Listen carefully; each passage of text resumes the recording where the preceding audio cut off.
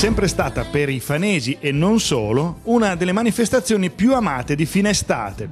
È un po' come d'inverno l'Epifania che tutte le feste porta via, con la festa dei fiori dall'estate siamo fuori.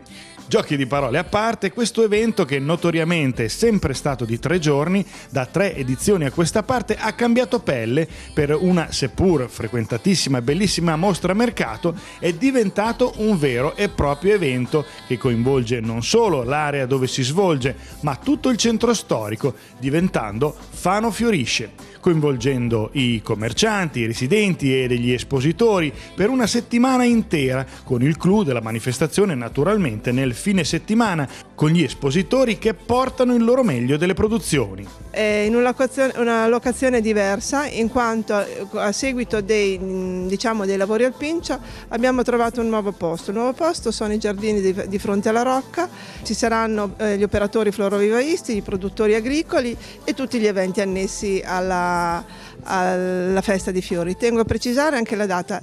La domenica 23 settembre presenteremo alla città il programma, eh, come ho detto prima, ricco di eventi, mentre le giornate di 28, 29, eh, 28, 29 e 30 settembre saranno dedicate alla, eh, alla mostra dei fiori. Quest'anno si è voluto spingere su un connubio quanto mai felice, ovvero sia l'arte e i fiori, quindi vi siete dati un, una motivazione in più quest'anno. Assolutamente sì. Eh, perché? Perché eh, l'arte e i fiori diciamo, si sposano sicuramente. Si sposano e, e, questo connubio lo si vedrà in particolar modo nella mostra di arte contemporanea che abbiamo presentato al foyer e, e poi diciamo, anche con la giocoleria per le strade. Tutto questo si vedrà e, diciamo, da domenica 23 a domenica 28.